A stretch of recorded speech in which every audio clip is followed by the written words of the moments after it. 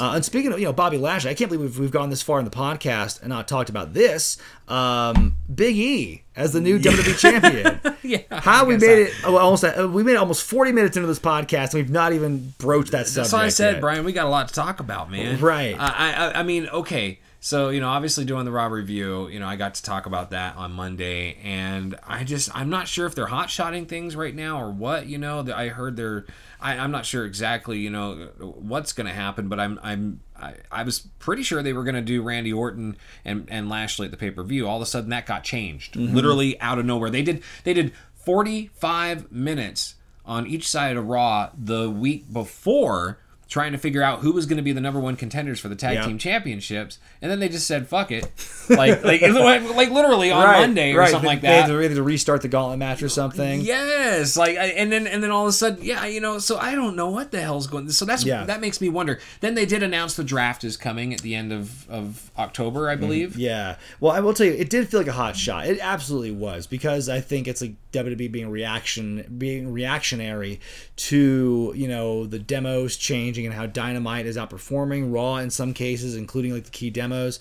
And so I think, and then Big E telegraphing on Twitter, I am going to cash in this briefcase tonight, and I plan on winning the championship.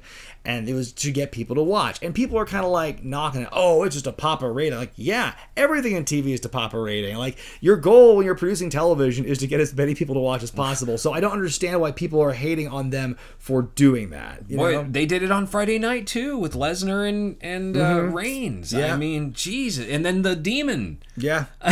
well, right. Well, I mean, well, they didn't give away the demon was going to be there. Well, did they, they didn't. No, but still, I'm just saying, like, like Yeah, they're pulling everything they're- out of their right. ass right now. And the thing is, that's just I think a product of the time now. I think that while AEW is, you know, I think both companies are both doing really big things right now. I, I want to, you know, take nothing away from you know AEW here specifically, but I think that like everyone in wrestling is trying to do the best they can now. We as fans are seeing a great time in wrestling now, where we're finally kind of getting the things we want. Right. You know, we're right. getting these big debuts, we're getting these big moments. Big E winning the championship, I think, is incredible and like Awesome. It seems like it's one of the most universally regarded like positive things about WWE right now is that Big E won the belt, and I think that's great. I think it's awesome that like I hope people are more inclined to tune in. I know it's like there's still a lot of problems with the rest of their booking, and like if you took away Big E winning the championship on Monday, the rest of Raw was kind of blah. But I think that Big E winning will hopefully get some people more interested.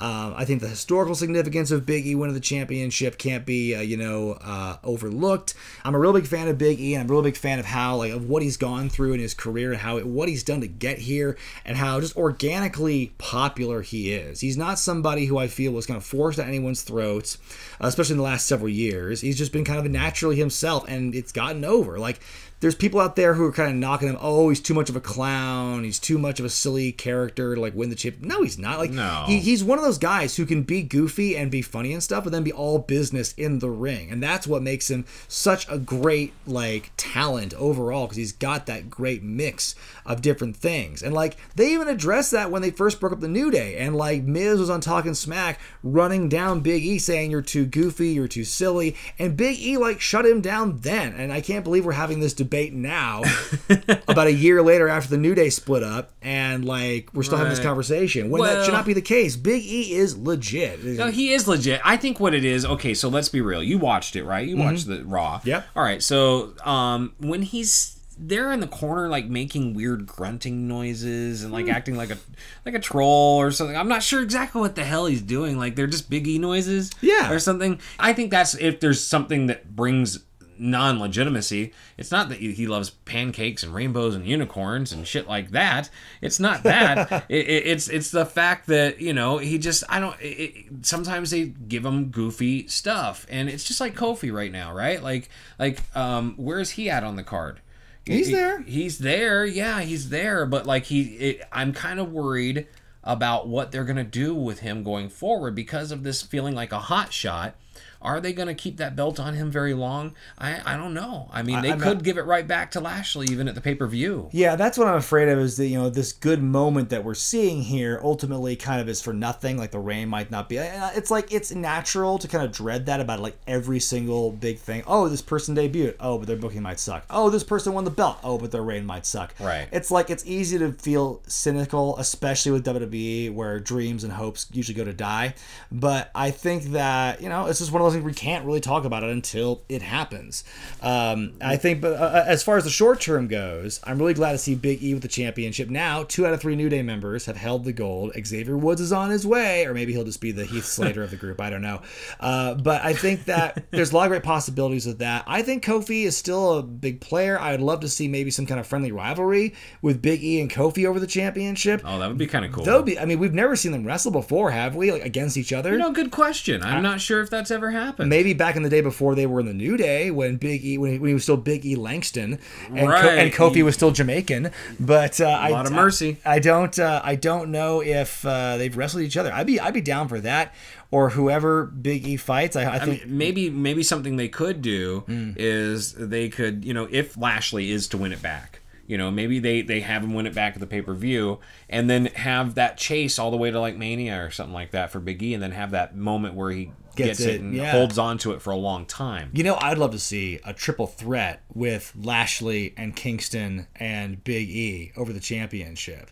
Like that right there. I mean, oh, all of them are phenomenal athletes. They're great in the ring, and there's so many different stories you could tell with that matchup. Um, I, know, I, I know we're just kind of like just going crazy here with fantasy booking all of a sudden. That's not what this this podcast. Well, no, but you know what it is? It's because of the time in WWE. When things get exciting in WWE, the last like I don't know five or six years. Let's be honest with you. Uh, uh, uh, uh, I mean, basically, it's AEW is the reason for all this hot shotting right now. Oh, yeah. But in the past, if we had this many cool things going on in one moment, you would be like, oh. Ding ding ding! They got a Saudi Arabia show coming up. I, I'm being serious, you know, because that's where they would pull out all the the DX reunion, dude. I mean, like, you Yeah. know what I mean? Like, this It's seems true. like shit that they would pull out of their ass right now if they hadn't have already done that. Right. No, and that's true. It's nice to know that like there's other motives behind it besides you got to plug this blood money pay per view. Uh, and so having like these really big moments, like Brock Lesnar returning, like Becky returning, uh, like you know, uh, like Big E winning the championship.